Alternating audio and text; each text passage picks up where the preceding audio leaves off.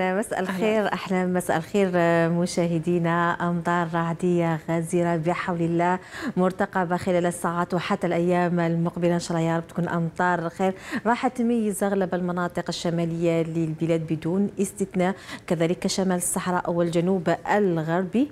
بالمقارنة أو بالمقابل أقول يعني الأجواء راح تكون حارة درجة حرارة جد مرتفعة راح تميز أغلب المناطق الشمالية للبلاد خاصة يعني بداية من يوم غد الخميس إلى غاية يوم السبت على الأقل يعني طقس حار مع طقس مع أجواء ماطرة مع تسجيل أمطار. إن شاء الله تكون يا رب تكون أمطار خير. وفي هذا الإطار مشاهدينا مصالح الأرصاد الجوية قامت ظهيرة اليوم بإصدار نشرية خاصة أكدت أكدت من خلالها على تساقط أمطار رعدية معتبرة محليا وهذا بداية من الساعة الثانية بعد زوال اليوم لتستمر إلى غاية الساعة الحادية عشر ليلا بكميات راح تراوح إن شاء الله ما بين 20 إلى 40 ملم وتكون هذه الأمطار إن شاء الله مرفوقة بتساقط لحبات البرد عبر كل من ولاية بجاية جيجيس كيكدا عنابة طارف برج بوريري جسطيف ميلا قسنطينة قلمة أم البواقي وكذلك ولاية سوق هرس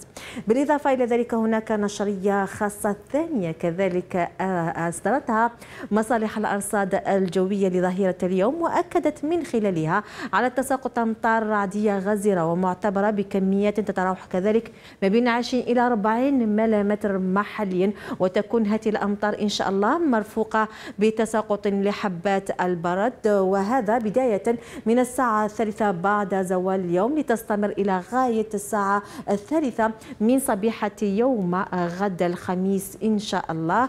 الولايات المعنية كل من ولاية تلمسان عين تموشنت وهران مستغانم الشلف سيدي بلعباس سعيدة معسكر غليزان تيارت تيسمسيلت نعامة البيض بشار وولاية بني عباس. إن شاء الله يا رب تكون أمطار خير. مشاهدينا بالإضافة إلى النشرية الخاصة هناك تنبيه كذلك من الدرجة الأولى حيث كذلك أكدت من خلاله مصالح الأرصاد الجوية على تساقط أمطار رعدية معتبرة محليا إن شاء الله. وهذا بداية من الساعة الثالثة بعد زوال اليوم الأربعاء لتستمر الأمطار إن شاء الله في التساقط إلى غاية فجر يوم غد الخميس عبر كل من ولاية الجزائر العاصمة. تيبازا البوليدة بومرداس المدية تيزي وزو خنشرة كذلك عين الدفلة أغواط المسيلة باتنا تبسة وكذلك ولاية الجلفة. يعني مشاهدينا لاحظنا أغلب المناطق الشمالية راح تكون معنية أقول إن شاء الله لنهار اليوم بعد ظهيرة اليوم في حدود الساعة الثالثة بعد الزوال. معنية بتساقط أمطار رعدية يعني تكون فجائية تكون معتبرة محليا في بعض المناطق. إن شاء الله تكون أمطار خير بكميات تصل أو تتعدى 40 ملم محليا.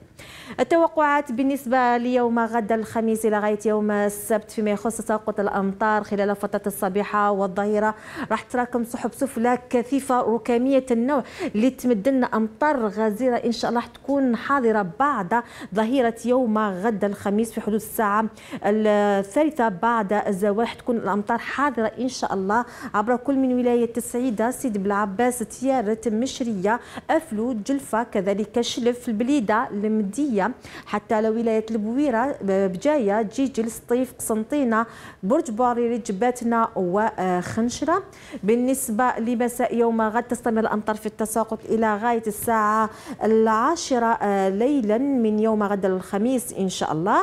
بالنسبة ليوم الجمعة نلاحظوا خلال الصبيحة يعني اللون الرمادي السحب السفلى الكثيفة الركاميات النوع حتبقى دائما حاضرة خلال الصبيحة وكذلك خلال الفترة فترة الظهيرة بعد الظهيرة دائما يعني في حدود الساعة الثالثة بعد الزوال إلى غاية الساعة الرابعة راح تكون هناك أمطار رعدية حاضرة على أغلب المناطق الداخلية للبلاد وحتى المدن قرب الساحلية تكون معنية بتساقط الأمطار فيما يخص المناطق الجنوبية مشاهدينا. نلاحظوا الأمطار الرعدية دائما حاضرة على الجنوب الغربي وشمال الصحراء بالضبط على مدينة بشار بني عباس تندوف كذلك غرداية المنيعة وتيميمون. إن شاء الله يا رب تكون أمطار خير خلال الساعات القليلة المقبلة.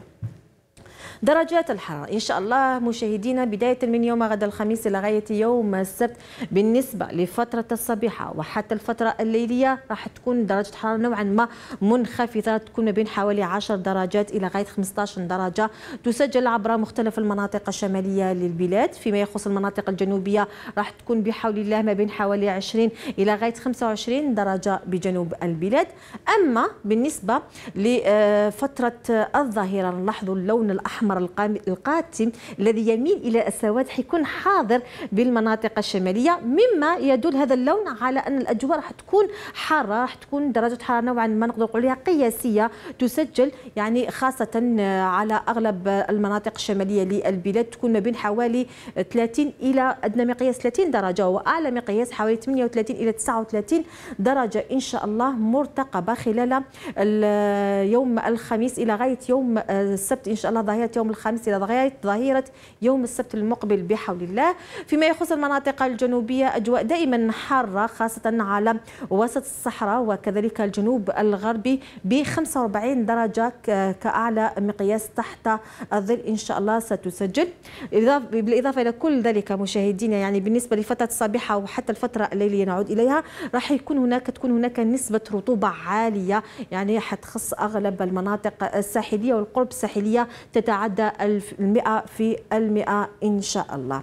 مشاهدينا أمطار رعدية غزيرة ومعتبرة محليا. تكون حاضرة إن شاء الله نهار اليوم الأربعاء بعد ظهيرة نهار اليوم الأربعاء إلى غاية يوم السبت المقبل إن شاء الله.